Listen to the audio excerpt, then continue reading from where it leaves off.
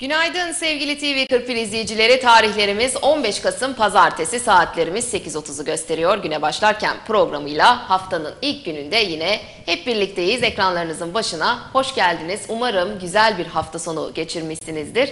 Şimdi bir Selçuk Sevim'e dönelim. Günaydın, nasılsınız? Günaydın. Teşekkürler. Siz iyisiniz. İyiyiz bizler de. Valla şimdi güzel hafta sonu deyince iki gündür hava ilimizde çok, Çok iyi. güzeldi. Baharı andıran bir hava vardı. Evet biraz soğuk e, tabii ki hissediliyor ama hani bu ayda normal zaten.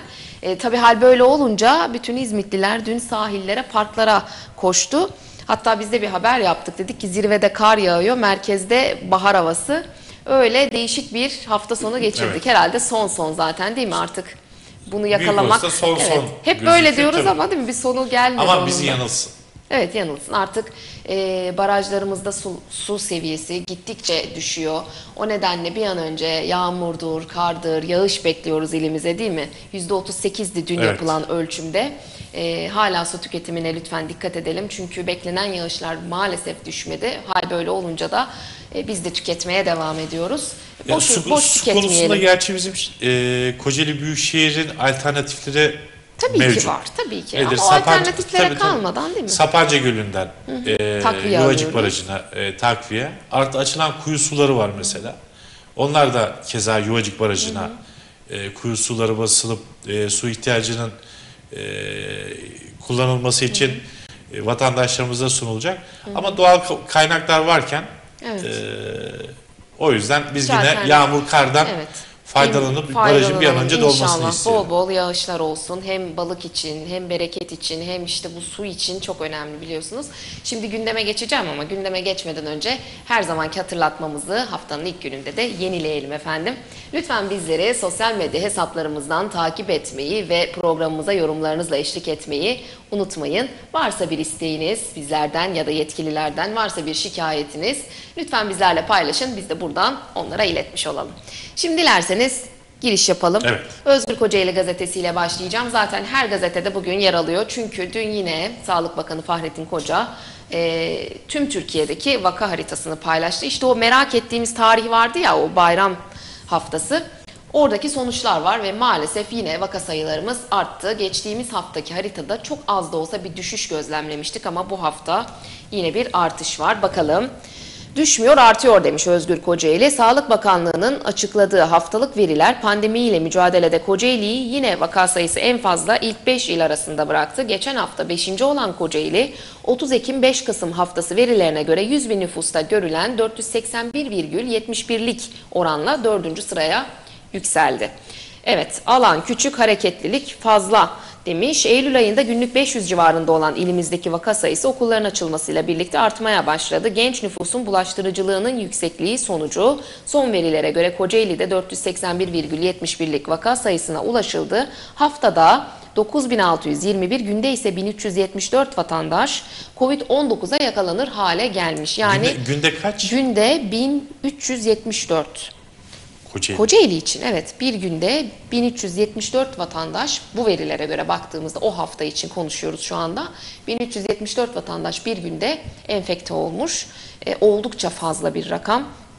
Zaten diyorum ya yanı başımdaki yanı başımızdaki İstanbul bizden oldukça fazla bir nüfusa sahip ama şu anda e, bizden oldukça düşük vakada. E, hal böyle olunca şey gibi oldu bu yani elimi at çarpsam Covid'e denk geliyorum gibi bir durum var şu anda ilimizde. Lütfen dikkat edelim. Lütfen şu vaka sayılarını düşürmek için artık e, aşının yanında birazcık herkes kendi kapanmasını uygularsa en azından içimiz rahatlar değil mi? Şöyle 200'lere insek haftalık. Bakın burada da ilk 5 il var vaka oranında. Yine orada 4. sıradayız. E, Karabük, Yalova, Ordu, Kocaeli, Zonguldak diye gidiyor. Ancak bu hafta en çok artışın yani görüldüğü iller arasında yokuz. Herhalde en bir fazla dahaki, artış. bir, bir dahaki hafta ilk üçü zorlarız. Herhalde öyle. İnşallah öyle olmaz. İnşallah bu hafta artık bu geçtiğimiz haftanın oranları çünkü hatta iki hafta öncesi oluyor sanırım. İnşallah bu hafta daha da düşük bir Ama şey vardı, e, geçmiş Bu o- yıllardan edindiğimiz bilgilerde bir pik olayı vardır. Hani bir pike çıkılması lazım ki pikten sonra tabii düşüşe düşüş. geçmesi Zaten lazım. peki yaşıyoruz. Zaten İ- konuşmuştuk. Son pik bu olsun. İnşallah bu olsun. Hani Bundan sonra artık tabii. diyelim ki düşüyoruz, düşüyoruz. Her Şu gün kadar, binin üzerinde kadar. hasta ne demek? Ciddi bir Çok ciddi bir oran. oran. Ee, ama maalesef e, bunu Hareketlilik zaman zaman sürüyor. Biz de e, yapıyoruz. Aşı olduk diye aşırı bir özgüven geldi. Evet. E, Şimdi dün e, ge- geçen yılı düşündüm. Geçen yıl eve geldiğimizde yine yapıyoruz da şey olarak elimizi yıkıyoruz, poşetlere daha dikkatli e, eve sokmalar vardı. E, nedir ekmek aldık mı farklı yere ilk önce koyuyorduk, sebze meyve aldık ilk e, balkona koyup bir gün bekletip ondan sonra eve alıyorduk. Geçen senenin düzenimi bu şekildeydi. Evet. Ama şimdi maalesef yine eski alışkanlıklarımıza geri döndük. Ee, sanki hiç iki yıl boyunca korona bize uğramamış gibi. Ee, 2019 yılında, 2020'nin ilk e, dönemindeki alışkanlıklarımız devam ediyor. Maskeyi zaten unuttuk. Evet. Yani maske yok. Sabahleyin işe gelmek için durağa indim. Ee, maskesiz 2-3 kişi vardı. Servis bekliyor. Yani bildiğin maske yok. Ee, şimdi servise bineceksin. Ya koronaysa hafta sonu dışarı şeydeydin, evdeydin. Ee, bir de maskesiz dolaşmanın mantığı ne? Ee, onu çözemedim. Burada maalesef e, yine iş devletimize düşüyor. Geçen yıl olduğu gibi maske ile ilgili ciddi uygulama yapması lazım. Tamam sosyal hayatımız devam etsin ama koyulan koyulan yasaklara, koyulan uygulamalara da bizim uymamız lazım. Ee, Bugün sabahleyin basit bir örnek verdim. Şu, şu an çarşıya çıksak birkaç saat sonra çarşı hareketlendiğinde yine insanlar Mümkün. Yine maskesiz, Maskesiz dolaşılıyor. görmek çok mümkün hatta olağan yani. Ya maskesiz dolaşılıyor. Adam e, alışverişe gidiyor ya e, nedir kent kartı olur veya ciklet alacaktır, bisküvit alacaktır. E, büfeye maalesef yine e, maskesiz girmeler var. Sokakta gezmeleri zaten saymıyorum. E, Allah'tan otobüste insanlar birazcık duyarlı. Maskesiz biri gir- girdiği anda e, direkt olarak tepkisini dile getiriyor. E, senin de söylediğin gibi sadece aşıyla bu iş bitmiyor. Aşılı olanlar da e, virüse kapılıyor. Ama aşının en önemli avantajı ne? E, yatağa düşürmüyor, hastaneye düşürmüyor. Evet. O, Evinizde grip o gibi. 1100 kişi şöyle düşün her gün 1100 kişinin olduğu şeyde normalde bilimsel araştırmalarda e, bulaşılanın yüzde e, 20'si hastan pardon yüzde 10'u hastanelik yüzde 5'i serviste yüzde iki buçuğu yoğun bakım yüzde iki buçuğu entübe gibi bir araştırma vardı. Evet. E, ama şu anda hastanelerimizde de o kadar e, bir yoğunluk. Yoğunluk yok evet. Alarm verecek bir tabii. durum yok. Zaten bunu İl Sağlık Müdürümüz de geçtiğimiz haftalarda bu ekranlardan paylaştı. Hastanelerde herhangi bir evet vaka sayıları yüksek ama bunu zaten bekliyorduk dedi. Ee, neden? Rehavetten dolayı oluyor ama aşı olduğu için geçtiğimiz yıl Kasım ayını hatırlayın biz 3. piki yaşıyorduk, kapanmadaydık ve yoğun bakımlarda ciddi bir doluluk oranı vardı. İnsanlar bazen beklemek zorunda Evet. kalıyorlardı. Ee, ama şu an öyle bir şey söz konusu değil. E, keza olursa da onunla ilgili de alınmış önlemler var. Ancak illa yoğun bakıma Ama düşmedik önle- diye de önle- yani önlemi böyle bizim almamız lazım. gerekiyor. Tabii ki. Önlemi bizim almamız lazım. E, lütfen maske maskeleri tekrar geçen sene yaşanan pik olayında olduğu gibi e, burnumuzu ve Ağzımızı, yüz ağzımızı yüzümüzü. kapatıp vaziyette tutalım. Evet. Sadece ağız değil. E, bakıyoruz burunda dışarıda e, ne var? Maske taktım aa düşmüş. Yani düşmedi. Sen indirdin onu. Evet. Yani insan şimdi burnu, burnunun üstünden maske düşecek. e, onun farkına varmaması imkanı Mümkün yok. Ya kısmi felç olması lazım e, veya da e, ne diyeyim e, akıl yoksun olması lazım. Maske düşmüş haberim yok. Evet. Yani çok fazla dışarıda kalıyorsak şimdi maske deyince o maskeyi değiştirmeye de lütfen özen gösterelim. Özellikle şimdi kış aylarına giriyoruz. İlla ki ıslanacak. Ee, yağmura denk geleceğiz belki. Belki kara denk geleceğiz. Lütfen yanınızda yedek bir maske bulundurun. Çünkü bir saatten sonra artık e, o da hijyenik olmuyor. E, çok fazla dışarıda kalanların yedek maske taşıması da elzem. Buna dikkat etmiyoruz mesela değil mi? Bir tane maskeyle çıkıyoruz. Kopsa da bir yerinden Şimdi bu tutturuyoruz hafta, falan. bu hafta yine bir hareketlilik olur. Şöyle Evet, olur. bir hareketlilik olur. Biliyorsun Cuma günü ara tatil verildi. Bugün öğrenciler Okullar. 5 gün boyunca okula gitmeyecekler. Gelecek hafta okula gidecekler ayın 22'sinde. Ee, insanlar ister istemez çocuklarımız Biraz stres hava, alsın, evet değil mi?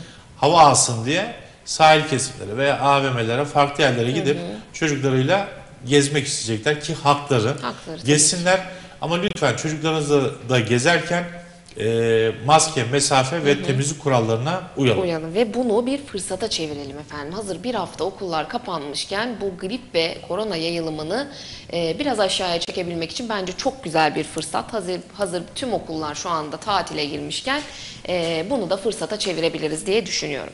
Şimdi devam edelim.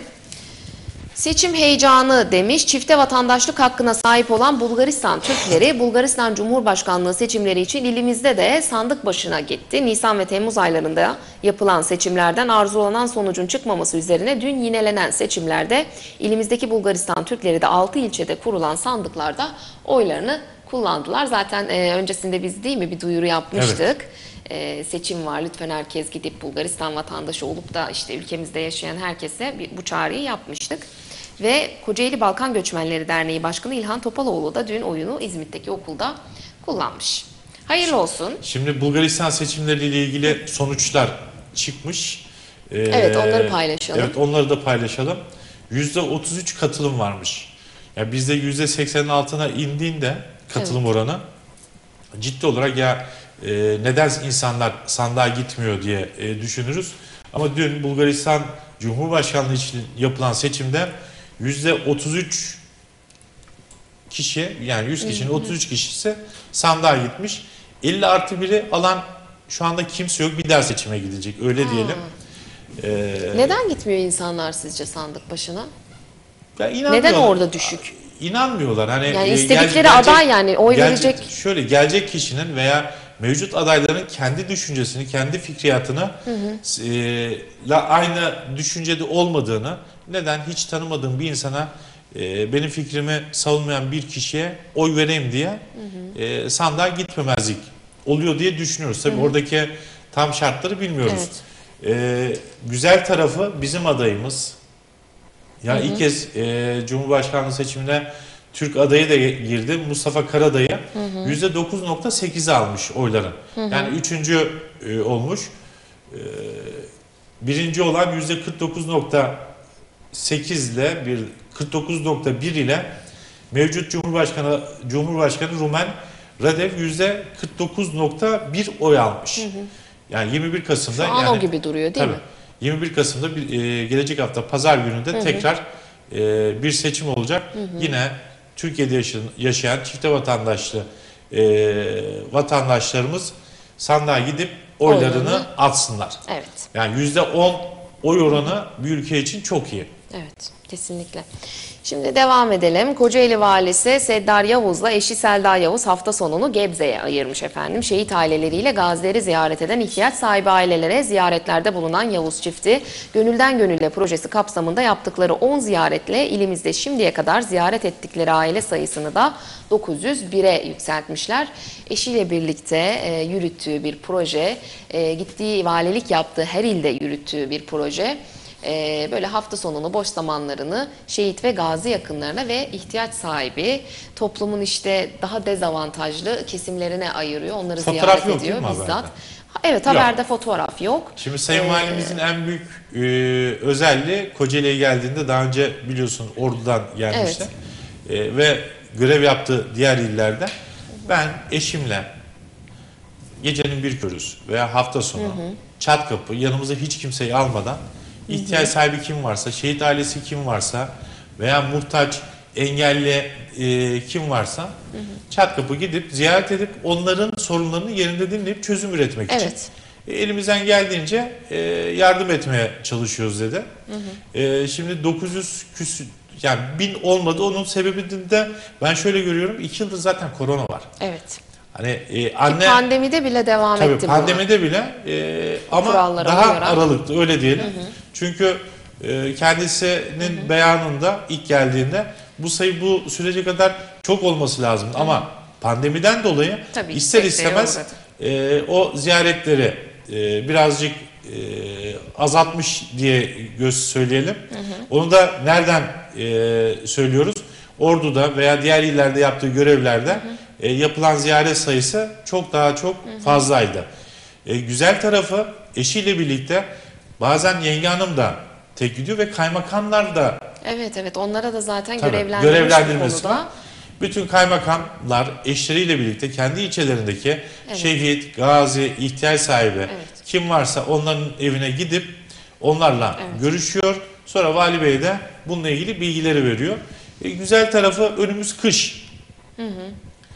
İnsanlara yakacak lazım. Giyecek belki. Giyecek giyecek lazım. Okula giden çocuklar var.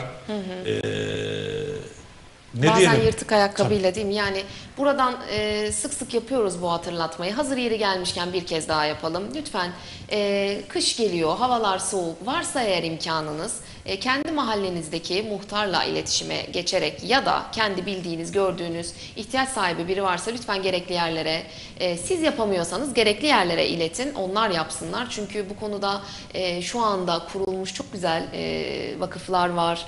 E, destek vermeye hazır birçok insan var. Kayıtsız kalmayalım, duyarsız kalmayalım. Onların da kışı rahat geçirmelerini sağlayalım. Hazır yeri gelmişken bunu da hatırlatmış olalım. Ya devletin Ki biz zaten Tabii değil mi öyle bir Tabii. Devletin elinde, zaten sosyal hizmetler Evet. kurumunda, vakfında insanların e, bütün şecereleri var. Kim ihtiyaç sahibi onlar e, gözüküyor. Ama bir de ihtiyaç sahibi olup bunu dışarıda belli etmeyen, hani belli etmiyor. Adamın evinde yiyeceği yok, adamın evinde yakacağı yok, giyecek elbisesi yok. Ama dışarı çıkıp bunu e, ya zordayım bana yardım edin diyemeyecek onurlu insanlar var. Buradan lütfen e, komşularımızı e, gözetelim.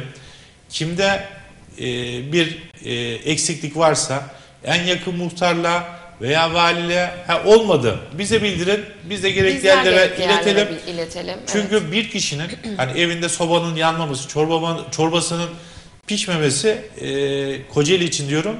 Eğer öyle bir şey Hepimizin varsa ayıbı. bizim ayıbımızdır. Evet hepimizin ayıbı. O yüzden lütfen duyarsız kalmayalım. Bunu da sık sık hatırlatacağız sevgili seyirciler. Şimdi devam edelim. 28 Haziran'da da sorun aynı otopark ve trafik demiş. Şimdi 28 Haziran mahallesi neresi? İlk olarak ondan bir bahsedelim. Kadıköy mahallesine gelmeden hemen devlet hastanesinden sonra şu kapalı otoparkın bulunduğu bölge. Orada yolu az, araç sayısı fazla olan İzmit'te otopark ve trafik sorunu neredeyse tüm mahallelerin ortak sorunu. 28 Haziran Mahalle Muhtarı Mukadder Mengül de bölgelerindeki bu iki sorunu önceliğine almış. Bu konuda vatandaşların duyarsız olduğunu söylüyor muhtar. Mevlana Kültür Merkezi'nin altında iki kattan oluşan otopark var. Ancak otoparkın içi boş ama önünde araçlar üst üste duruyor demiş. Şimdi bu sorun her yerde var. Bakın kapalı bir otopark var çok da yakında. Gidip araçlarınızı lütfen oralara bırakın. Yani bu e, sokak aralarına araç bırakmak artık yani bunu gerçekten denetimle mi çözeceğiz bilmiyorum. Yani o oradaki o park yerlerinin de bence kalkması gerekiyor. Ki kalkmasa da bırakılıyor. Çekilme riskine rağmen bırakılıyor. Ya da işte gece belirli bir saatten sonra artık zaten trafik duruyor diye düşünülüyor. Ya böyle düşünmeyin gece Yangını Allah var, korusun, bir yangın var. çıkabilir, biri fenalaşabilir. Yani ben görüyorum daracık sokaklara bile çok yakında otopark varken oraya çıkmaya üşeniyorlar. İşte kapımın önünü bırakırım. Ya bu mantığı gerçekten aşmadıkça sizin de dediğiniz gibi bu ilde trafik sorununu, park sorununu Çözemeyiz ya. çözemeyiz. Yani, yani otopark istiyoruz ya işte otopark olsun. Biz her yere yerin altından metrolar geçirelim. Üstünden e, lastiksiz arabalarla hani bu geleceğin e, otomobillerine şu anda lansmanı çıktı ya. Lastiksiz havada belli mesafede uçan otomobiller de yapalım. Biz bu kafayla gidersek e, otopark sorununa, trafik sorununa çözüm bulamayız. Evet. Şu an en ucuz sıfır araba kaç lira? 200 bin lira, 300 bin lira. Doğru mu? Yani 300 bin liradan 250 bin liradan aşağıya sıfır araba yok. İnsanlar 250 bin lira arabasına para veriyor ama çarşıya geldiğinde ara sokaklara gidip 10 lira vermemek için ara sokaklara araba park ediyor. Evet. Yani düşün 250 bin lira para veriyorsun veya 200 bin lira veriyorsun veya 100 bin lira veriyorsun. 100 bin lira nakit para veriyorsun, araba alıyorsun. Otoparka 10 lira 1 saatlik iş için, 10 dakikalık iş için otoparka gidip 7,5 lira veya 10 lira neyse arabana orada güvenli şekilde durması için para vermiyorsun. Evet. Ya bu bir güne mahsus bir şey. Her gün vermiyorsunuz ki. Ya tabii canım Yani hani ne, ya da ne zaman mesela ücretsiz çıkıyorsun? otoparka bırakmamanın mantığı ne o zaman? Bu arada 28 Haziran dedik işte e, bu eski İstanbul yolu diye bilinen cadde. Orayı herkes daha iyi Aha, öyle aha. biliyor değil mi? Eski İstanbul yolu deyince ben biraz yanlış tarif ettim. Çok yer Sizi- yok kavramı. yok sizin orası 28 Haziran- Kadıköy. Haziran Mahallesi. Orası cadde Yukarısı, yukarı. evet. Eski Asri Mezarlığa Evet evet eski asri mezarlığın hala daha var da hani artık o, oraya o yol. evet. Düşün. O orası yol. ara sokak.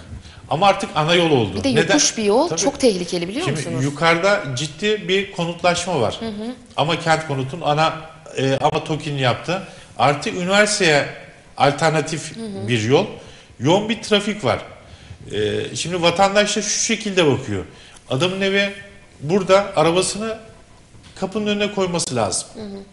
Ya benim evimin önü benim otoparkın mantığıyla bakıyor.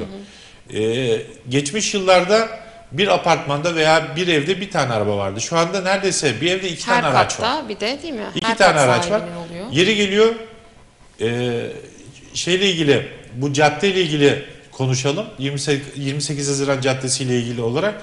Bundan önce tek sıra diziliyordu. Şimdi artık ikinci sıralar gelmeye başladı. Bir de orada esnaf hareketliliği var. Adam ya şuraya taksit yatıracağım veya bir şey alacağım deyip ikinci, üçüncü sıra trafik yapıyor. Keza yukarıda oluşan toplu konutla- konutlar veya üniversiteye çıkmak için alternatif yol gibi bilen kişiler de o yolu kullanıyorlar. Ara sokakta dahi şu anda ciddi trafik sıkıntısı var. Evet. Ciddi- Özellikle böyle caddeyi biraz geniş bulduk mu eyvahlar olsun yani. Hemen yan tarafında dediğin gibi otopark var. Eski karakolun olduğu yerde. Şu, şu an karakol orada herhalde değil mi? Evet orada. Karakolu. Ha, orada evet Düğün salonu var. Alt tarafı otopark. Otopark. Ya götür oraya koy kardeşim. Çok bir Hani abonman mesafe değil. olunca fiyat daha da düşüyor. Evet. Eğer orada yaşıyorsan baktın sıkıntı e, götür abonman ol e, götürürsün arabanı otoparka koyarsın. Evet. Biz de, e, en başta tekrar döneyim. Biz bu kafayla gittiğimiz müddetçe biz yerin altını demir raylarla da örsek, yukarıdan uçan otomobillerle de gezsek, biz gezme meraklı, gezmeyi sevmeyen bir topluluğuz. Evet. Adım atmıyoruz. Adım biz. atmıyoruz. Evet. Hani eğer elimizden gelse hastane acile gidiyoruz ya. Acilin kapısından inmeyeceğiz. Doktora gidip e, bu fast food yani şuradan tansiyonuma bak ateşim ölç diyecek kadar yürümeyi sevmeyen bir millet olduk. Evet. Yani muhtara hak veriyorum gerçekten e, bu sadece bu mahallede değil birçok İzmit'in hatta Kocaeli'nin birçok yerinde var olan bir sorun. Lütfen herkes bu konuda da birazcık özen göstersin. Şimdi reklama çıkacağız. Çıkmadan önce soba ve ısıtıcıların da fiyatı artıyormuş sevgili seyirciler. Geçen yıl 750 lira olan kuzine sobalar bu yıl 1500 lira olmuş. Elektrikli ısıtıcı, ısıtıcılar da yine kalitesine göre 125 ile 1000 lira arasında değişiyormuş. Artık Soba geçen sene kaç liraymış? 750 liraymış Bu geçen yıl. kaç Bu liraymış? sene 1000, 1500 yani iki katı. Yüzde yüz. %100 bir Dolara mı zam. Herkes bir yer bir şekilde nasibini alıyor işte. Kömür olmuş 3000 lira. Geçen sene e, 600 lira mı? 600 Artık 700 ucuz yol oydu artık ucuz yol değil yani evet bu haber gerçekten bunu gösteriyor. E, doğalgazı yok soba pahalı ne yakacak? Ne yakacak adam? Ne yakacak yani gerçekten bir ucuz bir yol arasak onu bile bulamıyoruz. CHP İlk Danışma Kurulu'nu Körfez ilçede yapmış. CHP ilçe danışma kurullarının ilk toplantısı Körfez'de yapıldı. CHP İl Başkanı Özgür Harun Yıldızlı yaptığı konuşmada partisinin iktidar hedefini yinelemiş. Buna birazdan yine dönüş yapacağız başka bir gazetede. Şimdi bitkisel çaylara halkın ilgisi artmış. Havalar soğudu. Malum koronavirüs. Onun yanında işte soğuk algınlığı, grip de kol geziyor. Hal böyle olunca da aktarların yolunu tutuyoruz. Hava sıcaklıklarındaki ani değişim beraberinde soğuk algınlıklarını da getiriyor. Pandemi nedeniyle zaten tedirgin olan insanlar hastalıktan korunmak adına tercihlerini doğal yollara çevirmişler. Özellikle bitkisel çaylar vatandaşlar için en doğal tedavi yöntemi olmuş. En çok tercih edilen çaylarsa ıhlamur ve kış çayıymış. Zaten kış deyince direkt Ihlamur bizim milli ıhlamur bizim içeceğimiz milli yani. içeceğimiz. Ee, geçtiğimiz aylarda ben böyle bir soğuk algınlığına yakalanmıştım. Bana aile hekimim şey dedi. Öksürüğün varsa ıhlamur içme dedi. Öksürük ıhlamuru, ıhlamur öksürüğü birazcık daha arttırıyormuş. Yani bu kötü olduğundan ya da şeyden değil ama öksürüğe karşı bir sadece orada bir vurgu yapmıştı. Bilmiyorum yani dikkat ederseniz şimdi öksürdüğümüz zaman direkt alıyoruz ama daha çok da öksürtebilir. Ona da dikkat etmek lazım. Şimdi e, adam tansiyon hastası, şeker hastası, kronik rahatsızlıkları var. Her gün televizyonda e, birileri çıkıyor, bitkisel ilaçlardan bahsediyor. Organiktir, içinde kimyevi madde yok, madde yok diye. Veya gazeteleri açıyor, interneti açıyor. E, şu buna iyi geliyor diye okuyor. Tansiyon hastası. Tansiyon hastasının içmemesi gereken bitkilerden içip komaya giriyorsun. Evet. E, e, tamam. Yo, bitki bit- konusunda evet, Evet. çok güzel bir yere değindiniz. Çok Şimdi dikkat herkes gerekiyor. televizyonda çıkan ya zencefil herkes içemez. Eğer senin kronik bir hastalığın varsa hani ben uzman değilim. Uzman olmadığım için afaki konuşuyorum. Şekerin varsa her bitkiyi Her içemez. içemiyoruz. Tansiyon. tabii, tansiyondur, kronik rahatsızlıkların vardır veya bir tedavi görüyorsun. Bir ilaç içiyorsun, il- ilaç içiyorsundur. Artı bu bitkileri kullandığında Tam e, tersi Allah etki korusun. yapabiliyor. Tabii. Evet lütfen bitkileri Tamam Uzman- çok bilindik uzmana bitkiler sorun. evet hani ıhlamurdur işte kış çayıdır ada çayıdır ama bunun dışında çok farklı da mesela aktarlara gittiğimizde çeşit çeşit bunlara dikkat edelim. Ee, öksürükle ilgili de aklıma gelmiş yani ıhlamur deyince bunu söyleyeyim de çünkü direkt Mesela aile ben ge- hekimimden geçen gün şey edindiğim bir bilgiydi bu. Ayva mesela ayvayı e, ısıttığınızda ya e, yerseniz ısıtıp şeyde öksürüğe iyi geliyormuş. Hı, Evet ayvanın öyle bir şeyi var evet öyle bir etkisi Evet. var ben de duymuştum kaynatıp içiyorlar falan.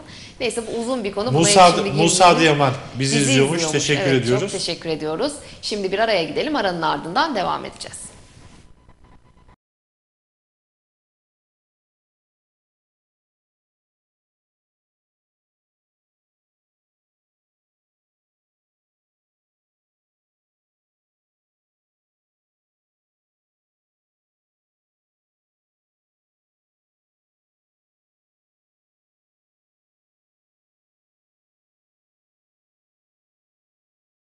Güne başlarken programına kaldığımız yerden devam ediyoruz. Şimdi Çağdaş Kocaeli gazetesine bir giriş yapalım.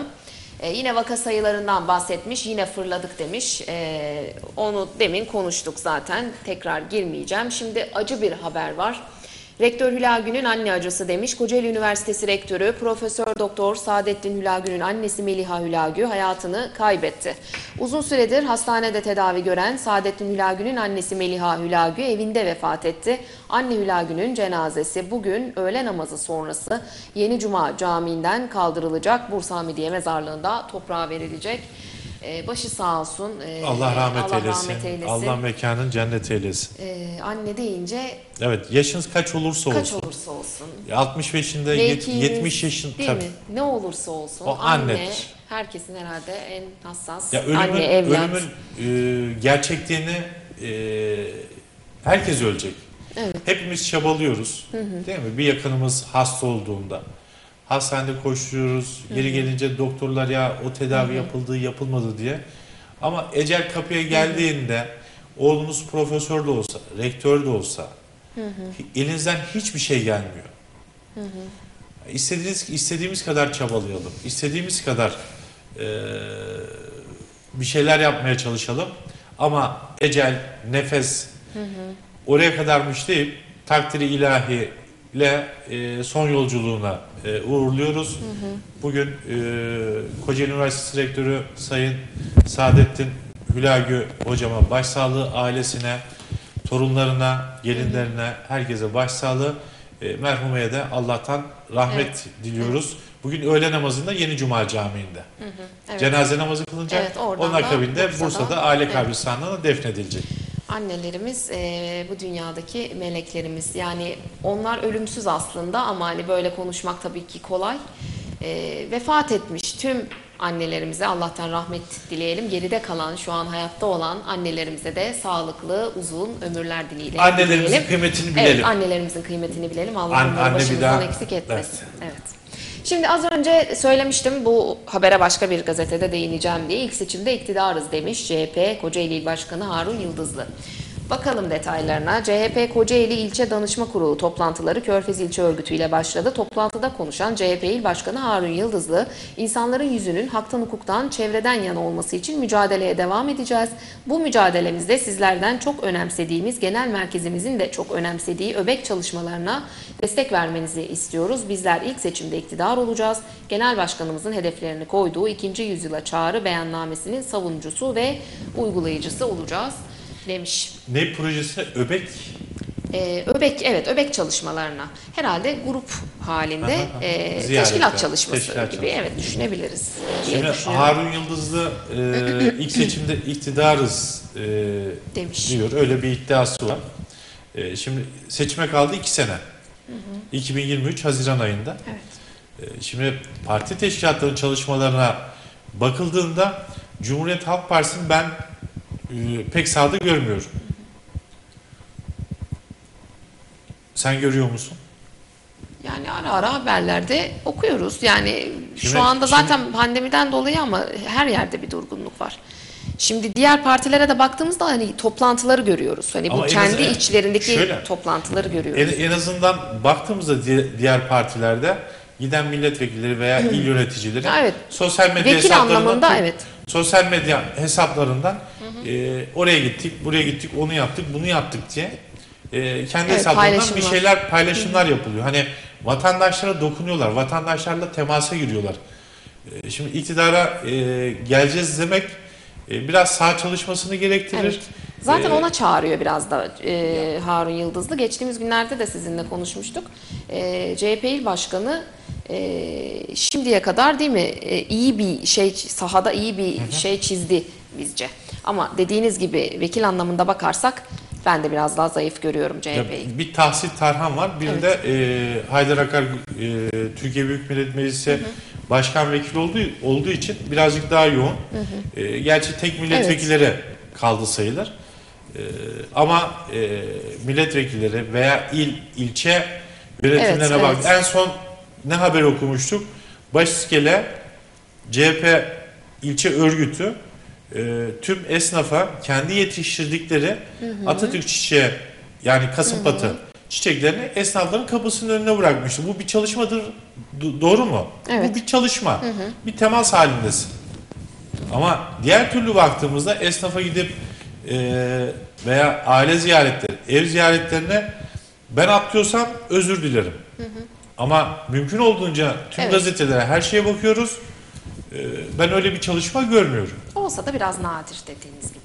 Şimdi e, dün yine Türkiye bir seçim vardı. Türk Eğitim Sen bu sefer e, seçime gitti. Bir nolu şubenin 7. olan kongresinde mevcut başkan Yaşar Şanlı ve Feyzullah Divli yarıştı. Toplam 4126 üyesi bulunan ve 137 delegenin oy kullanma hakkının bulunduğu kongrede 129 delege sandık başına gitmiş. Kullanılan oyların 68'ini alan mevcut başkan Yaşar Şanlı yeniden başkan seçilmiş. Rakibi Feyzullah Divli ise 61 oyla kalmış herhalde bir 7 oyla. Evet. Değil mi? 7 oyla yeniden Demek ki başkan. mevcut mevcut başkan birazcık daha e, dikkatli, Dikkatli çalışması lazım, değil mi? ciddi Çok çalışması lazım. E, çok yakın oylar. Eğer karşısına bir rakip çıkıyorsa Evet. ve e, kaç dönemdir o görevi sürdürüyorsun, rakip çıkıyorsa sadece 7 oy gibi bir elin parmağından iki fazla Evet. yani 7 tane şu Evet. kadar fazla bir şey değil. Az bir fark var gerçekten. Eğer 3 Dikkat kişi, etmesi. 4 kişi bu tarafa dönmüş olsa bir oyla seçimi kaybedeceksin. Ee, Yaşar Şanlı'nın da ve yönetiminin ya biz üyelerimizle, delegelerimizle ne tür e, onlarla iletişim sağlayamamışız ki bizi kafa kafaya getirip son anda e, seçtiler diye şapkalarını önüne Evet. koyup düşünmeleri O lazım. 7 oyda e, düşünülecek, tartışılacak çok şey var. Ben de öyle düşünüyorum. Şimdi Yeni Doğan Camisi. Geçtiğimiz günlerde Evet. biliyorsunuz bir yangın e, meydana geldi. Hasar gördü cami. O camiyi Büyükşehir onaracak duyurusunu da Başkan Büyükakın yaptı. Bakalım Başkan Büyükakın önceki gün yaşanan yangında hasar gören Yeni Doğan Camii'nin Büyükşehir tarafından onarılacağını söyledi. Cami cemaatimiz ve görevlilerimiz müsterih olsun. Büyükşehir olarak en kısa zamanda camimizde meydana gelen hasarı onaracağız demiş. Yani ciddi hasar var camide. Ee, evet, halıları Ee, falan bayağı tabii öyle Benim haberin mahallemin e, camisi. Elektrik kontağından çıkmış. Yangın yani e, Büyükşehir orada ciddi e, bir çalışma yapacak. Çünkü e, her taraf sis içinde e, duvarı kazıyıp yeniden bir sıva yapılıp en basit şeyi söylüyorum. E, boya yapılacak. Keza halılar o vaziyette elektrik tesisatı komple dö- değişmesi gerekecek. E, buradan Kocaeli Büyükşehir Belediye Başkanı Sayın Tahir Büyükakın'a ben mahalleli olarak, gazeteci olarak değil, ben mahalleli olarak e, teşekkür ediyorum. Evet sizin E, mahalleniz. evet. e, bizim bütün cemiyetlerimizin yapıldığı merkezi e, bir camidir. Evet. E, maalesef cumartesi günü tam ölü saat öyle diyelim saat 11 gibi e, yangın çıkıyor çünkü e, namaz yok. Tam evet evet. E, insanlar Evet. sabah namazını kılan cemaat o saate kadar uyup ondan sonra geliyor. Biraz e, herhalde geç fark Bu- edildi.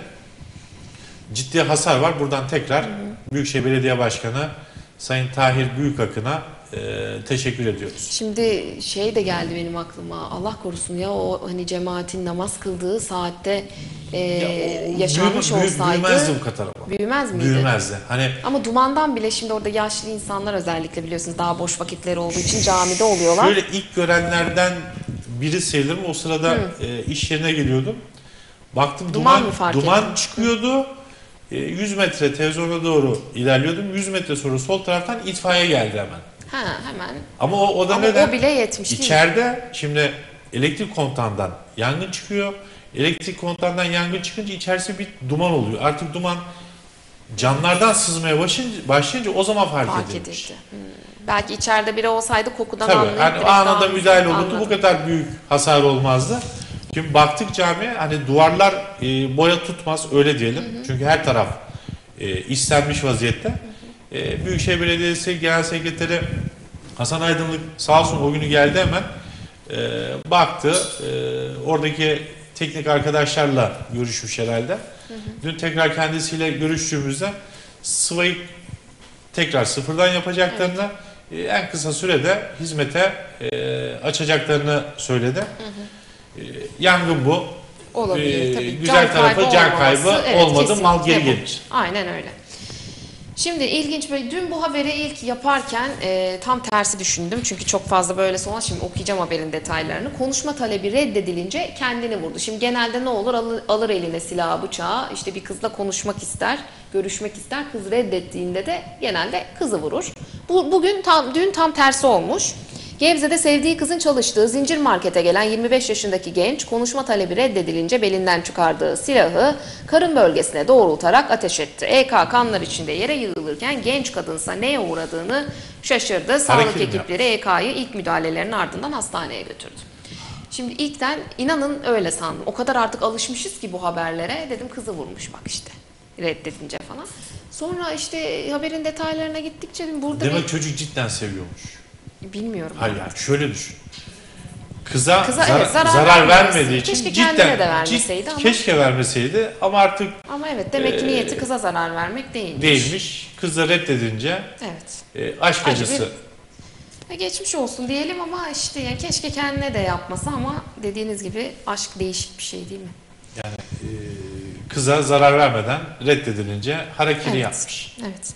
Şimdi iki acılı baba teselliyi birbirlerine sarılarak buldu demiş. Maalesef Gebze'de öğrenci servisinin dere yatağına uçtuğu feci kazada hayatını kaybeden öğrenci yine dün son yolculuğuna uğurlandı. Acılı babayı aynı kazada oğlu Mertefe Akıllı'yı kaybeden Güven Akıllı sarılarak teselli etmiş. Şimdi Mertefe Akıllı ilk hayatını kaybeden öğrencilerden biriydi. İlk e, hatta Olay evet 10 Kasım'da cenazesi e, yapılmıştı. Protokolün de katılımı vardı hatırlayacaksınız. İşte Mert Efe, Efe'nin babası Güven Akıllı yine aynı kaderi paylaştığı diğer bir acılı babayı sarılarak cami avlusunda teselli etmiş. Diliyoruz artık daha sayı artmaz. Hala da hastanede tedavi gören öğrencilerimiz var.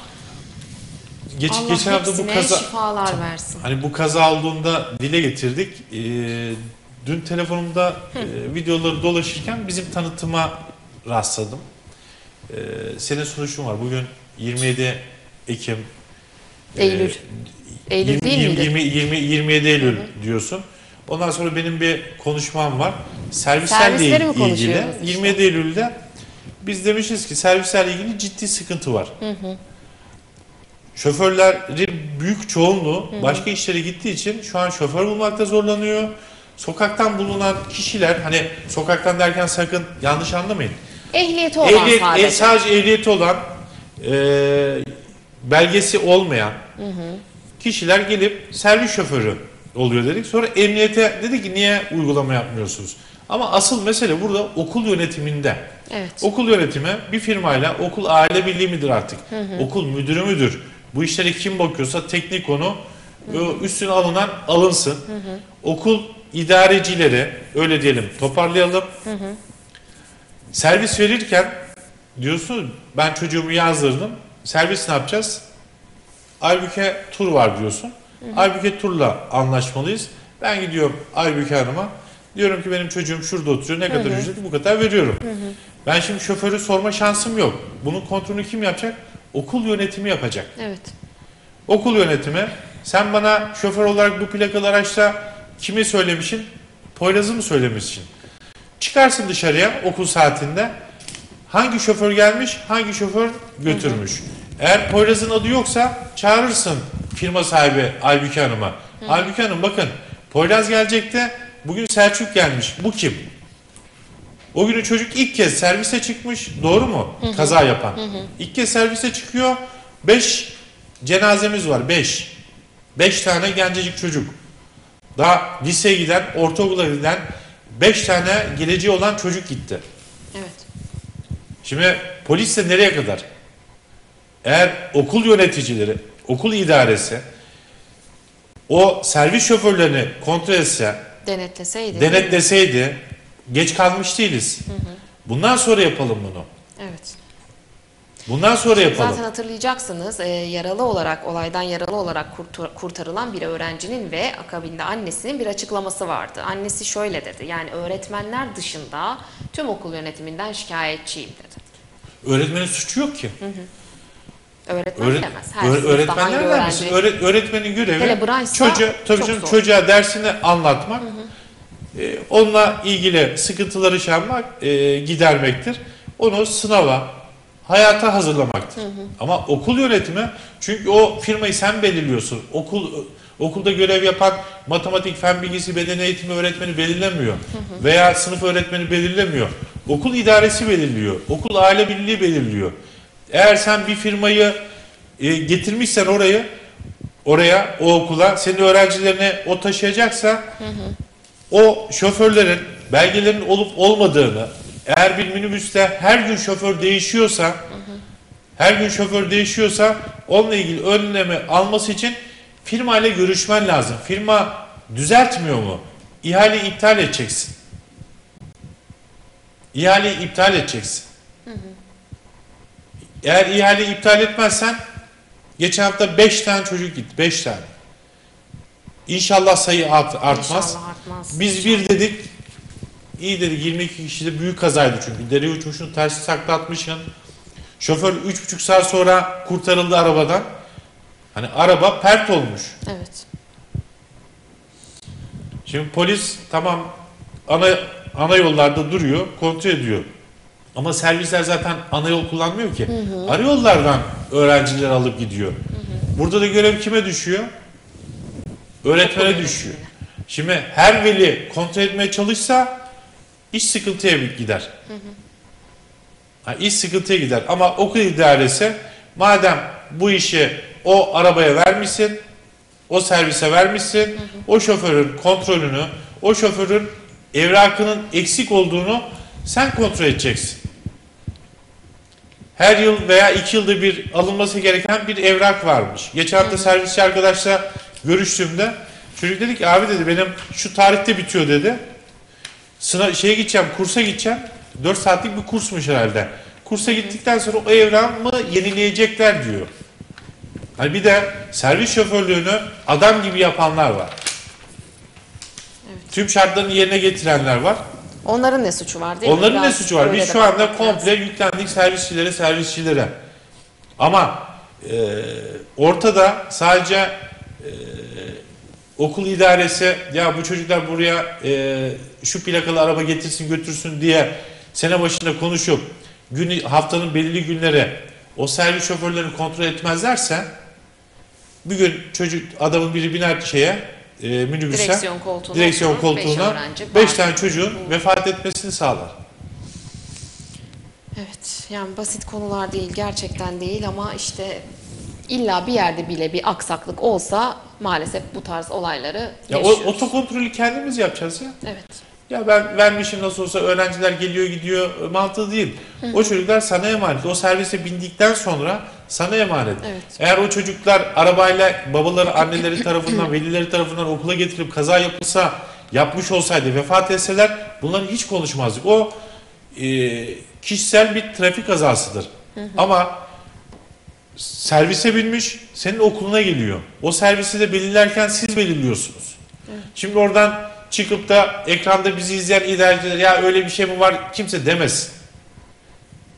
Şimdi şey hatırladım. Geçtiğimiz günlerde bayağı oluyor. Hatırlıyor musunuz? Lisede bir sınıfta öğrenciler işte çay attığı için işte yok Cumhurbaşkanıyla dalga geçtiler diye okul Aha, müdürü aha. tutup soruşturma Anadolu şey Lisesi. başlatmıştı çocuklar evet. hakkında. Anadolu Lisesi'nde olmuştu bu olay. Yani şimdi bununla uğraşan bir tarafta baktığımızda bir e, yönetici var. Bir tarafta burada bir ihmal var. Bir ciddi ihmal Şimdi var. gerçek şeylere birazcık odaklanalım. Yani gerçekten problem oluşturacak şeylere odaklanalım. E, bırakalım yani gençler olmuş. Geri gelir sizi bizi taklit ederler, dalga geçerler. Yani gülüp geçmek varken burada da bir ihmal var ona bakarsak. Birazcık gerçek sorunlara lütfen odaklanalım. Herkes elini taşın altına koyarsa Yani şu öğrencilerin canı işte çok polis denetlesin değil yani tek. Konuşurken aklıma geldi. Mesela askeriye bir yere gireceksiniz. Yarın benim randevum var. Randevuya gideceğiz. Bizden ne isteniyor? Araç plakası isteniyor. Şoförün, yani şoför götürecek bize görüşmeye. Görüşmeye ben gel, gireceğim, sen gireceksin. Hani görüşmeyi biz yapacağız. Bir şoför, şoförün TC'si, arabanın plakası ve kimler gelecekse onların herkesin bir nevi gebeti araştırılıyor. Yani şoförüm yani şoför getirecek götürecek. Şoför değişti veya araba şeyde bildirmen lazım. Evet. Bu da böyle olmalı değil mi? Ha bildirmen lazım. Can taşıyorsun ya. 22 tane çocuk. O minibüsler de 22 kişilik değil herhalde ya.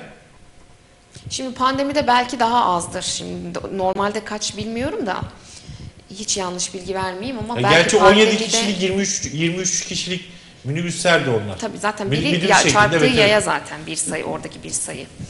Evet şimdi genç İzmitliler sözünü tutmuş. Ee, programın başında e, bir konuşmuştuk. Demiştik ki işte havalar soğudu. ihtiyaç sahibi insanlara e, olabildiğince duyarsız kalmayalım yardım edelim diye. Geçtiğimiz günlerde 500 ihtiyaç sahibi çocuğu baştan aşağı giydireceğini kamuoyuna duyuran Genç İzmitliler platformu sözünü tutmuş ve dağıtıma başlamış.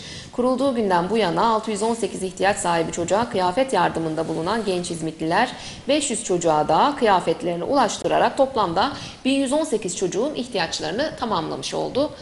Ee, diye güzel bir haber. Böyle haberler gördük. Ne güzel aracı olmak, hayırseverlerle hani ihtiyaç yardım- Evet evet. Bu tarz platformlara bakın ulaşabilirsiniz. Sizin eğer e, durumunuz yoksa durumu olan insanlara bunları böyle işte bugün bir haber okudum böyle böyle bir şey varmış yapmak istiyorsan işte gidebilir. Yani elimizden ne gelirse diyorum ya sadece para yardımı değil olay. Olur yetmez sende de bir şey yoktur olabilir yani. E, o zaman da ne yapacağız? Yapabilen kurumlara Evet. haber vereceğiz. İlla ki Şimdi 6 yıl önceydi herhalde bizim Serdar Mahalle muhtarı sosyal medyadan bir fotoğraf paylaşmıştı. Ailenin yani yüzünü göstermeden ev ortamını göstermiş. Ee, ne var evde hiçbir şey yok. Şu lazım diye sosyal medyada bir paylaşım yaptı. Herkes elinden geldiğince bir şeyler yapıyordu. Sonra bizim bir arkadaşımız var.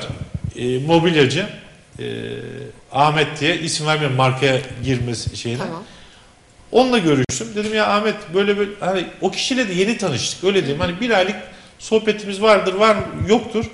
Telefon açtım. Dedim yerinde misin? Yerindeyim abi dedi. Yanına gittik. Oturduk. Dedim bak muhtar paylaşım var. Muhtarın numarası bu. Ne lazım dedi. Dedim bilmiyorum ne lazım. Muhtarı aradık. Abi dedi koltuktu, yataktır, halıdır, o tip şeyler falan. Görüştürdük, yolladık. Ben gittim. Sonra arkadaş beni aradı Ahmet. Abi de çocuğun dedi bebeğin beşiği yokmuş niye söylemedin? Dedim Ahmet ne bileyim hani şimdi sen yatak yollamışsın onu yollamışsın beşik biraz şeydir ya Tabii. e, ister istemez der ki ulan yatak yollamışım beşiği nereden çıkartıyorlar gündeme. Sonra bir laf demişti abi bak çevrende eğer ihtiyaç sahibi olup da bana söylemezsen çevre işini hakkımı helal etmem diyen bizim esnafımız var. Aa ne güzel. Tebrik ediyoruz. Yani diğer Böyle esnafımız var. Yüreği zengin değil mi? Bana diyor niye söylemiyorsun diyor. Yani e, hani bu, bu hani bizim insanımız şeydir, merttir. Söyleyin Cömerttir. yapmazlarsa da yapamıyorlarsa da yapamıyorlar. Ama yapamıyorsa git tabii. Hani yapalım. aracılık da e, bilir. Yani senin gücün yoktur. Tabii tabii onun yaptığı kadar Tabii canım. Senin Aynen gücün yoktur. Görürsün orada imkansız bir hali. İmkanı olan bir arkadaşın da vardır, bir dostun da vardır. Dersin ki ya bak Mehmet şurada şöyle bir aile Evet, var. evet. Bir şeyler yapalım falan. Adamın gönlü çünkü Allah'la yarışılmaz ya. evet. O- Sen ver Allah sana daha çok verir. Bak gencecik çocuklar bin tane e, çocuğu sevindirmişler. Kıyafet dağıtıyorlar, farklı şeyler dağıtıyorlar. Baştan aşağı giydirmişler. Helal olsun. Tebrik ediyoruz. Böyle şeyleri görünce ben mutlu oluyorum. Şimdi bir Demokrat Kocaeli gazetesine bakalım. Yine dün e, bir asayiş e, haberi vardı. Ne yazık ki tırın altında yaşam savaşı veren bir sürücü tırın dorsesine çarpmış, metrelerce sürüklenmiş. Yarısı dorsenin altına giren otomobilde sürücüyü kurtarmak için itfaiye ekipleri zamanla yarışmış. Sürücü uzun süre tırın altında sıkışmış halde kalmış. Şimdi haberin detayı şöyle. E, çarpıyor, tırın dorsesine giriyor yarısı. Tır bunu fark etmiyor, ilerlemeye devam ediyor. Yani onu sürücüler uyarıyor. Sürüklüyor. Bir sıkıntı var dur diye. Evet o metrelerce sürüklendi ibaresi ondan yani. Sonra duruyor neyse tırın sürücüsü ve işte e, sonucunda kurtarmaya uğraşıyorlar. Ağır yaralıydı en son. Umarım Allah şifa versin. E, işte şimdi hız mı dersiniz artık dikkatsizlik, Dikkatsizlik mi mi? dersiniz Kaza. bilmiyorum. Kaza geliyor bir şekilde. Ama böyle bir şey yani tamam tıra, tırın dorsesine giren araba olur da tır sürücüsünün fark etmediği böyle hala ilerlediği ilginç bir kaza yaşandı Şimdi dün ilimizde. Şey vardır.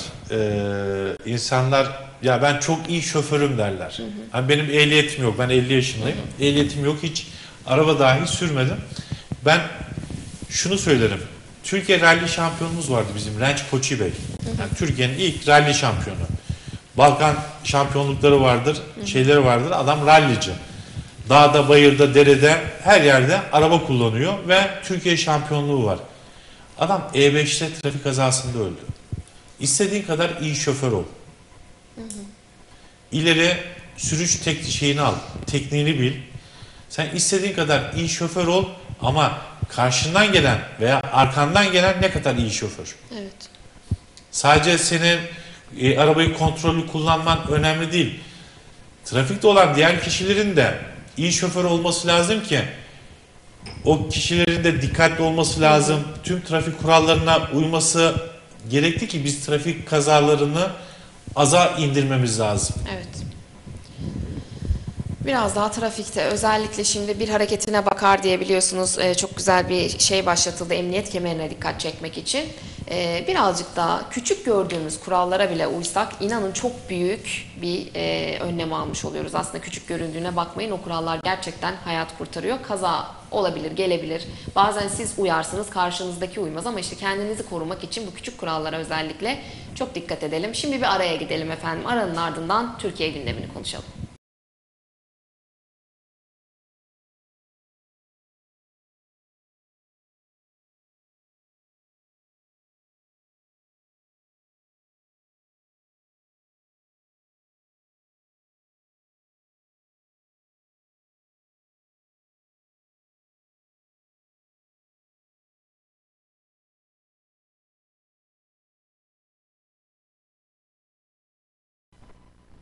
Güne başlarken programının son bölümündeyiz. Şimdi biraz Türkiye gündemine bakacağız. Bakalım hafta sonu Türkiye'de neler yaşanmış. Sabah gazetesiyle başlayalım.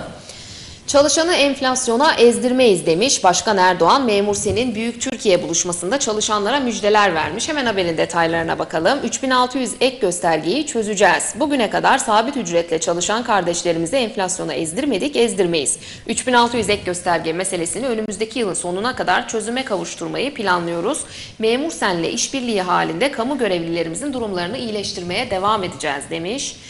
Bay Kemal tehdit ediyor. Bay Kemal memurları tehdit ediyor ama bilmiyor ki memur kardeşlerim bunlara papuç bırakmayacak. Ekonomimizi çalışmadan zenginleşmeyi alışkanlık haline getirmiş bir avuç elite rağmen büyüttük. Ya omurgasızlar ne yaptılar? Seçim döneminde verdikleri sözü çiğneyip en büyük personel kıyımına imza attılar. Küfürde sınır tanımıyorlar. Ülke ve millet için hayalleri ve vizyonları yok. Ama iftira, yalan, çirkeflik ve küfürde sınır tanımıyorlar. Yabancı büyükelçiliklerini ağlama duvarlarına çevirenlerin bırakın Türk demokrasisini kendi partilerine bile faydası dokunmaz demiş. Ee, konuşması ayakta alkışlanmış Erdoğan'ın. İyi Parti lideri Akşener'e de tepki göstermiş. Bir kadın genel başkana meclis kürsüsünden küfür etmek yakışıyor mu demiş. Evet. Evet. Gündemimizde hep mad şey, e, maaşlar, ek Maaşlar, gösterge. ek- 3600 ek gösterge evet. uzun bir süredir E, Turgut Özal zamanında gündemde. çıkmış bir e, yönetmelik. E, 40 yıl sonra hemen hemen 40 yıl 40 yıl sonra e, çözülürse büyük başarı öyle diyeyim. Çünkü tüm memurların beklentisi o. 3600 ek, gö- ek gösterge. E, bir de diğer gündemle EYT erken yaşta emekliliğe takılanlar Evet. diye. E, şu an e, vatandaşın gündemi çünkü herkes etkilen bir konu. E, mevcut iki konumuz var. E, Çanakkale'deydi dün Cumhurbaşkanı doğru mu? Evet. E, Çanakkale'deydi Cuma günü. Cuma günü Cumartesiydi. Cumartesi miydi? Evet, cumartesi. E, Cumartesi Çanakkale'deydi. E, orada yapılan e, bir etkinlik. E, buradan inşallah gelecek yıl e, EYT çıkar. E, yılların e, kamburu da bitmiş olur. Evet değil mi? Şu an emekliliğini bekleyen ama yaşa takılan e, herkes artık derin En azından ben şöyle diyorum hani kademeli yapılsa e, ne bir de şu boyutu var. Hazineyi ne kadar et- etkileyecek? E, ben de EYT'ye takılanlardanım. E, nedir? Adamın 8 senesi vardır. Derler ki 5 yıl sonra ol. 3 senesi vardır. Bu sene yapabilirsin. Hani birazcık daha böyle e, iyileştirme daha iyi olur gibime geliyor. Bakalım. Ha şu bir gerçek. 40 yaşında, 42 yaşında bu ülkede e, emekli olanlar vardı. 42 yaşında adam emekli olmuş, 75-80 yaşında vefat etmiş. Sadece devlette sigortalı hani e, nedir çırakken girmiş, 18 Evet. yaşından Çok önce küçük girmiş. yaşta başlamış. Çok küçük yaşta girmiş. Sigorta primini doldurmuş. Doldurmuş. 40-42 yaşında emekli olup devam etmiş.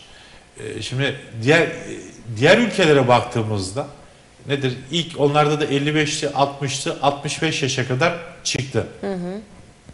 Ee, sadece emekliye, ikramiye verilip bitmiyor. Maaş devam ediyor. Hani maaş devam ediyor.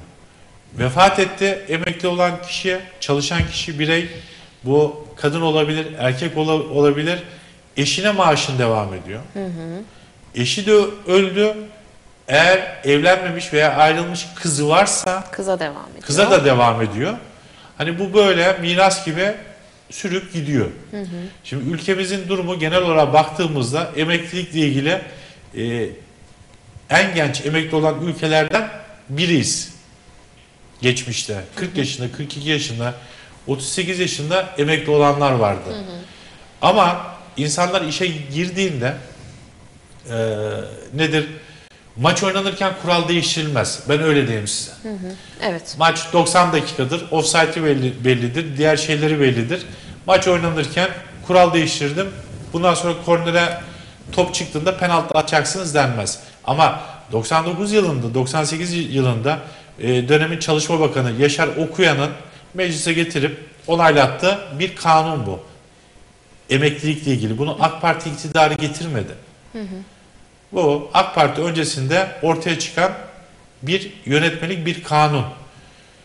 Yaşa takılacaksın 50'dir 55'tir teknik olarak tam şey bilmiyorum.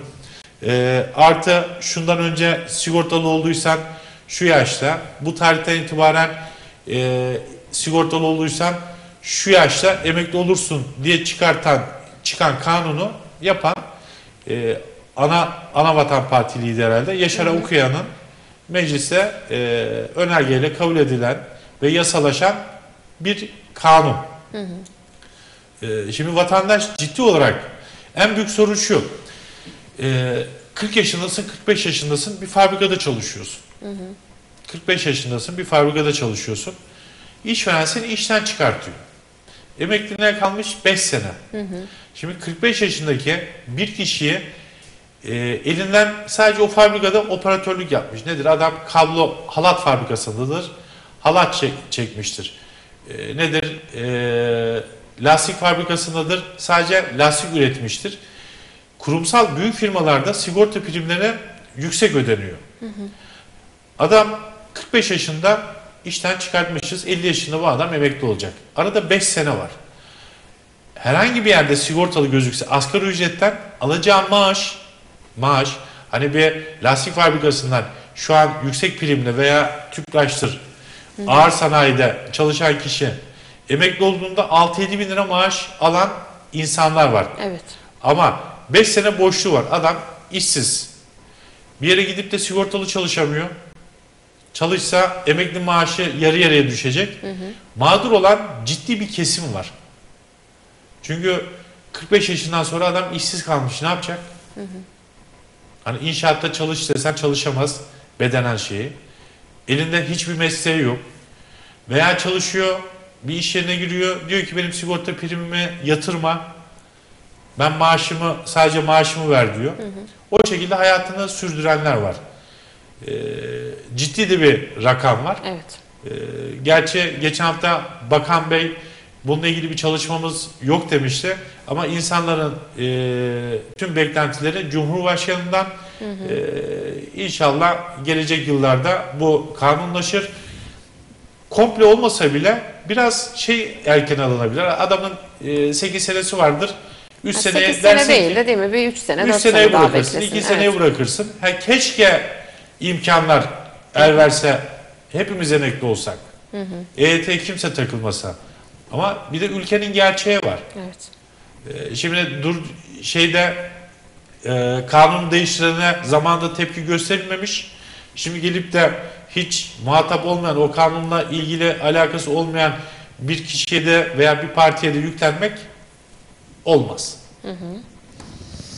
Ama işte çözümü için bir şeyler, Bir şeyler bekliyorlar. Zaten evet so- sorun o. Bir şeyler üretilmesi lazım. Bu yıllardır gündemde çünkü.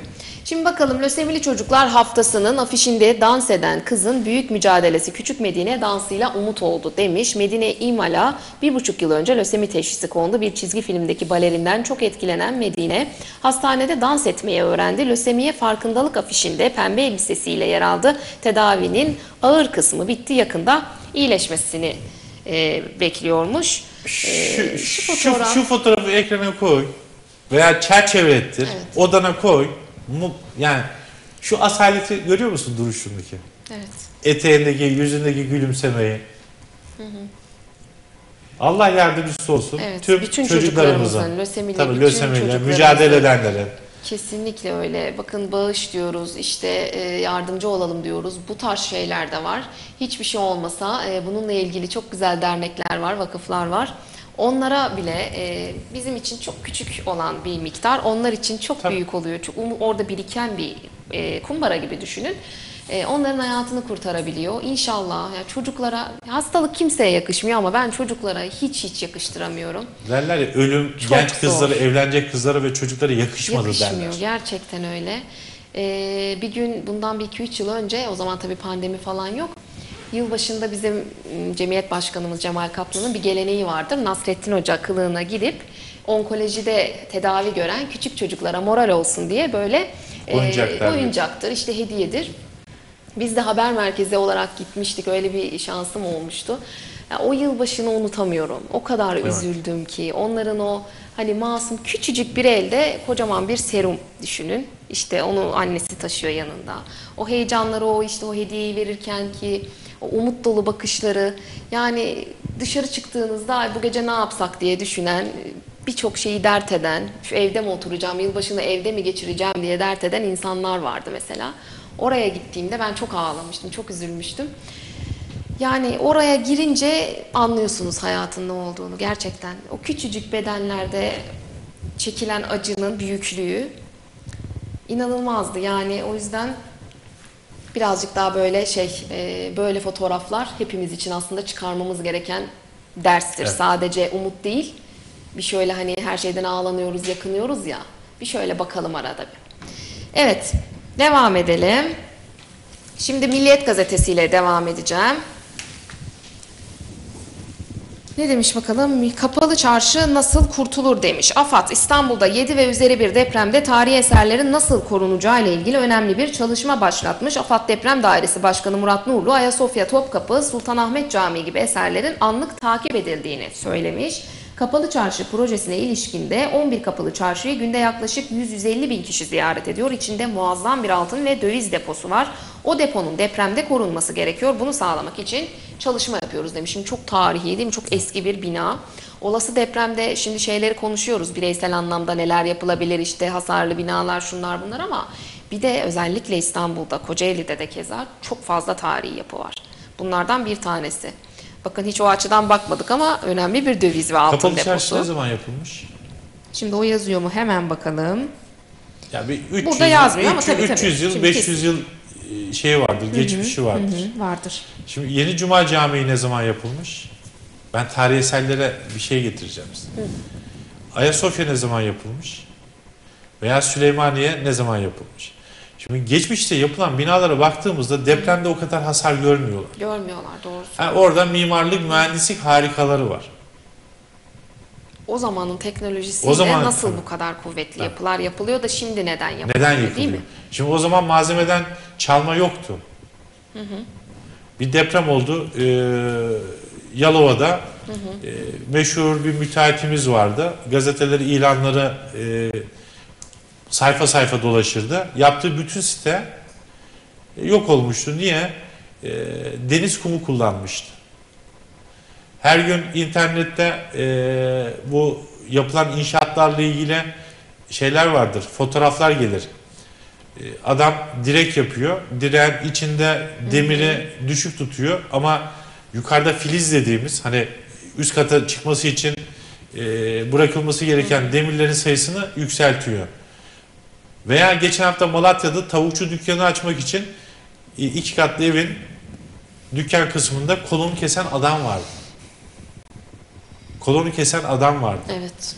E, Şimdi kapalı çarşıya kaç tane deprem atlatmışız. Zaten burası hani ilk deprem 1999 yılında Kocaeli'de olmadı. 1967 yıllarda Sakarya'da oldu. Ondan önceki tarihlerde Kocaeli'de ve İstanbul'da onlarca deprem oldu. Ama o eserler hala orada duruyor.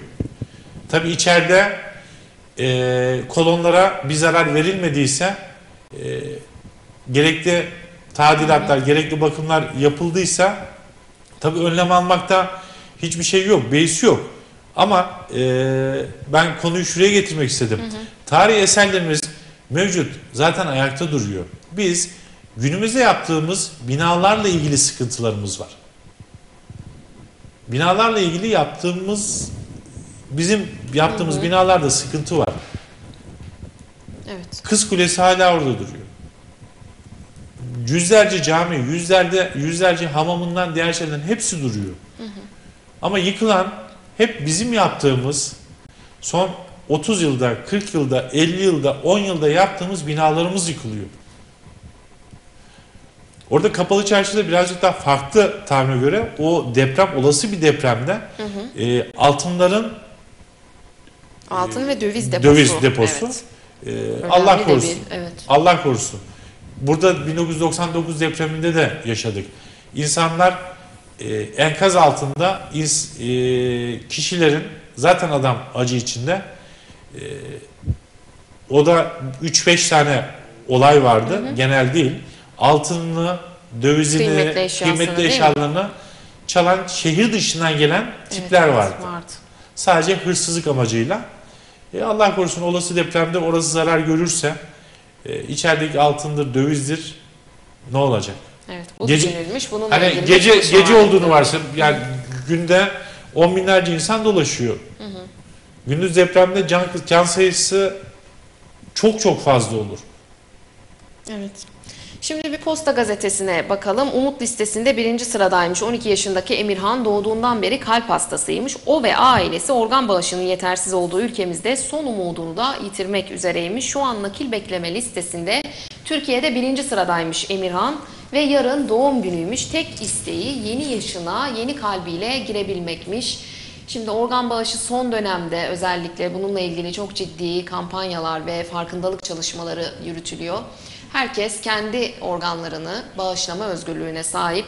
Ee, ölmeden önce böyle bir vasiyet bırakabiliyorsunuz. Ve siz öldükten sonra organlarınız eğer hala çalışır vaziyetteyse birçok hastaya, birçok insana işte böyle hastanelerde nakil bekleyen birçok hastaya umut olabiliyor. Ölürken bile iyilik yapabiliyorsunuz. O nedenle buradan biz de bir çağrı yapalım. Organ bağışlamak isteyen olursa değil mi hastanelerde ve Kızılay gibi e, merkezlerde organlarınızı bağışlayabiliyorsunuz. İnşallah o kalp bir an önce bulunur. Yeni yaşına yeni kalbiyle girer. Uzun bir ömrü olur değil mi? Yani işte budur çaresizlik gerçekten budur. Hürriyet gazetesine de son olarak bir bakalım sonra programı kapatacağız. 19 yıl sonra benzin bitiyor demiş. Türkiye 2040'a kadar benzinli ve dizel araç satışını sonlandıracak çok önemli bir adım attı. Her ne kadar 19 yıl çok uzak gibi gözükse de sektörün geçişi için süre kısa demiş. 1500 istasyon varmış. Halen Türkiye'de 1500 adet şarj istasyonu bulunuyor. 2040'da elektrikli araç sayısının 2.7 milyona, şarj istasyonu sayısının ise 100 binin üzerine çıkması bekleniyormuş. 30 ülke arasında imzalanmış bir anlaşma. Çünkü artık Ya TOG, benzin TOG'la ala- ilgili TOG'la Evet. ilgili ciddi e, adım attık. Evet. Hani gelecek yıl seri üretime girecek 2023'te öyle hatırlıyorum. E, geçtiğimiz hafta e, bakan e, Kocaeli Milletvekili Tahsin Tarhan biz araç yapamayız demişti. Cuma günü kendisini de da- davet edip TOG'un koltuğuna oturtturup test sürüşüne çıkartmıştı. E, otomobille ilgili, elektrikli otomobille ilgili e, biraz erk, hani tam zamanında e, davrandık diyelim. Çünkü gelecek artık e, elektrikli otomobilde. E, ne diyorlar? 19 yıl sonra benzin bitti. Evet. E, kapitalist sistemin yeni bir şey işte. Yeni bir hemen başka yere çevriliyor. Bu böyle gidecek zaten. Evet. Dilerseniz artık toparlayalım. Var mı son olarak söylemek istediğiniz bir şey? Herkes kendine dikkat etsin. Bugün e, yerel gazetelerimizde vaka sayılarımızdaki artışta 5'ten 4'e e, çıkmışız. E, lütfen maskemizi, mesafemizi ve hijyen kurallarına riayet edelim. Birazcık daha sabır. Önümüz kış, tam pandeminin artacağı zaman kapalı alanlarda zamanımızı çok geçireceğimiz zamanlar. Kapalı alanda kimse sosyal hayatınızdan ödün verin demiyor. Ama aşımızı ve kapalı alanda lütfen maskemizi takalım. Açık Evet. alanları zaten saymıyorum. Arabada, sokakta gezerken de ya sokakta geziyorum ne var demeyelim. Evet. Şimdi gribal ayı sen maskesiz geçer, gezersen karşından biri gelir bir hapşırdığında Grip bile bulaşıcı biliyorsunuz oldukça da bulaşıcı bir virüs. O nedenle dikkat edelim. Herkes kendi kapanmasını her zaman söylüyoruz. Kendisi yapsın diyelim ve bugünü de artık noktalayalım. Haftanın ilk günüydü. Bizlerle birlikte olduğunuz çok teşekkür ediyoruz. Yarın yine saatler 8.30'u gösterdiğinde Selçuk Sevim ve ben Güne TV 41 ekranlarında başlayacağız. Sizleri de bekliyoruz efendim. Şimdilik hoşçakalın.